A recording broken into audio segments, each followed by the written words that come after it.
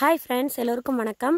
இன்றைக்கி நம்ம சேனலில் என்ன வீடியோ பார்க்க போகிறோம் அப்படின்னா ஒரு ரெசிபி வீடியோ தான் பார்க்க போகிறோங்க இது வந்து ரொம்பவே சூப்பரான ஹெல்த்தியான ஒரு ரெசிபி இதுக்கு முந்தின வீடியோவில் பார்த்தீங்கன்னா நான் மாடு கண்ணு போட்டிருக்குன்னு சொல்லிட்டு ஒரு வீடியோ அப்லோட் பண்ணியிருப்பேன். அந்தோட அந்த மாட்டோட பால் தான் வந்துட்டு அப்பா கறந்துட்டுருக்காரு. அதோட ரெசிபி தான் நம்ம இப்போ பார்க்க போகிறோங்க சரி வாங்க வீடியோக்குள்ளே போயிடலாம். இதுதான் வந்துட்டு சீம்பாலுங்க. நல்லா எல்லோ கலரில் இருக்கும். சீம்பால் அப்படிங்கிறது என்னென்னு பார்த்தீங்கன்னா மாடு கண்ணு போட்டு ஃபஸ்ட்டு வர பாலில் கறக்கிறது தான் வந்துட்டு சீம்பாலுங்க. இந்த பாலில் பார்த்தீங்கன்னா நிறைய சத்துக்கள் இருக்குங்க. இது வந்து கண்டிப்பாக கிடச்சிதுன்னா நீங்களும் வந்து வாங்கி ட்ரை பண்ணி பாருங்கள் இந்த சீம்பால் செய்யறதுக்கு அதிகமான பொருட்கள்லாம் தேவையில்லைங்க. சீம்பால் இருந்தால் போதும். அதுக்கப்புறம் வந்துட்டு சுக்கு மிளகு அதுக்கப்புறம் வந்து நம்ம சர்க்கரை வந்து சேர்த்துக்கணும். வெள்ளை சர்க்கரை இருந்தாலும் சேர்த்துக்கலாம். அப்படி இல்லைன்னா நாட்டு சர்க்கரை சேர்த்தா ரொம்பவே நல்லது. அதுக்கப்புறம் வந்து சுக்கு மிளகு எடுத்து நம்ம வந்து நுணுக்கி வச்சுக்கலாங்க. இது வந்து நீங்கள் பவுடர் இருந்தாலும் அப்படியே எடுத்துக்கலாம். அப்படி இல்லைன்னா இந்த மாதிரி வந்து நம்ம தட்டி எடுத்துக்கலாங்க. குழந்தைங்களுக்கு கொடுக்குற மாதிரி இருந்தால் நம்ம சுக்கு சேர்த்துக்கலாங்க. மாடு கண்டுபிடிச்சு அப்படின்னா நம்ம ஒரு மாதத்து வரைக்கும் அந்த மாட்டு க மாட்டோட பாலை வந்துட்டு நம்ம குழந்தைங்களுக்கு கொடுக்கக்கூடாது அந்த மாதிரி கொடுத்தோம் அப்படின்னா சளி பிடிக்கும்னு சொல்லுவாங்க. அதுக்காக வந்து நம்ம சுக்கு சேர்த்து சீம்பால் அவங்களுக்கு கொடுத்தோம் அப்படின்னா சளி பிடிக்காது. இப்போ வந்து நான் பாலை இன்னொரு பாத்திரத்தில் பிரித்து எடுத்துக்கிறேங்க.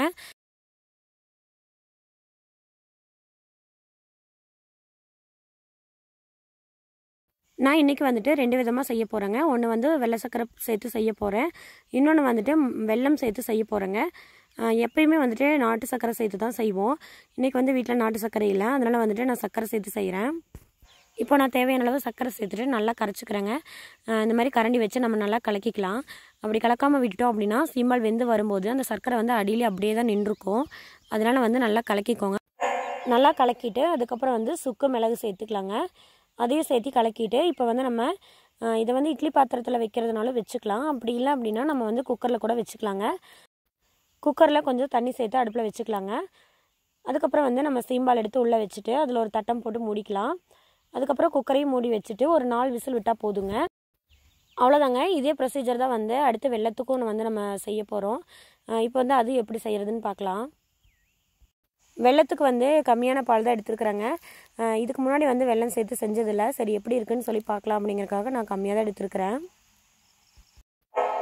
இதுக்கு வந்துட்டு இந்த வெள்ளம் தான் எடுத்துருக்குறாங்க. இது வந்து ஒரிஜினல் நாட்டு வெல்லம்ங்க வெள்ளத்தோட டேஸ்ட் வந்து நல்லா இருந்துச்சு அப்படின்னா அடுத்த தடவையிலேருந்து வெள்ளத்தில் தான் செய்யணுங்க.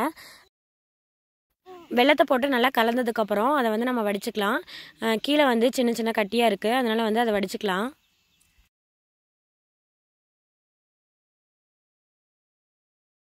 அதுக்கப்புறம் வந்து சுக்கு மிளகு சேர்த்துக்கலாங்க.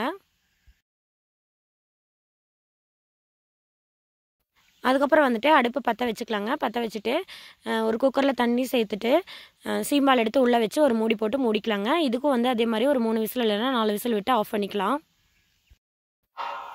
அவ்வளோதாங்க. ரெண்டுமே விசில் வந்து ஆஃப் பண்ணியாச்சு. இப்போ வந்து எப்படி இருக்குன்னு சொல்லிட்டு பார்க்கலாம்.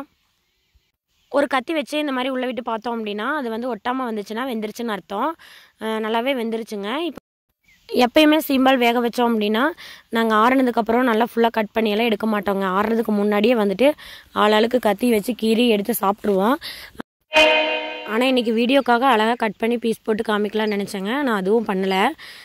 இப்போவும் அதே மாதிரி தான் நாங்கள் வந்து சூடு ஆடுற வரைக்கும் வெயிட் பண்ணலங்க. அதனால தான் வந்துட்டு பீஸ் இந்த மாதிரி இருக்குது டேஸ்ட் வந்து எது நல்லாயிருக்குன்னு பார்த்தீங்கன்னா எனக்கு வந்து வெள்ளம் தான் பிடிச்சிருக்குங்க. நீங்களும் வந்து உங்கள் வீட்டில் ட்ரை பண்ணி பாருங்கள் இதுக்கப்புறம் யாருக்கு போட்டுட்ருக்கேன்னு பார்த்தீங்கன்னா மகிக்குட்டி ஊருக்கு போயிட்டாங்க. அவனுக்காக தான் வந்து எடுத்து கொண்டு போகலான்னு போட்டுட்ருக்கேன். அவ்வளோதாங்க இந்த பால் கிடைக்கிறப்போ கண்டிப்பாக ட்ரை பண்ணிவிட்டு எப்படி இருக்குன்னு சொல்லிவிட்டு கமெண்டில் சொல்லுங்கள் இந்த வீடியோ உங்களுக்கு பிடிச்சிருந்தா லைக் பண்ணுங்கள் ஷேர் பண்ணுங்கள் கமெண்ட் பண்ணுங்கள் இன்னும் நம்ம சேனலை நீங்கள் சப்ஸ்கிரைப் பண்ணாமல் பார்த்துட்ருக்கீங்க அப்படின்னா கண்டிப்பாக சப்ஸ்கிரைப் பண்ணிக்கோங்க மறக்காமல் பக்கத்தில் இருக்க பெல் பட்டனையும் கிளிக் பண்ணிக்கோங்க தேங்க்யூ.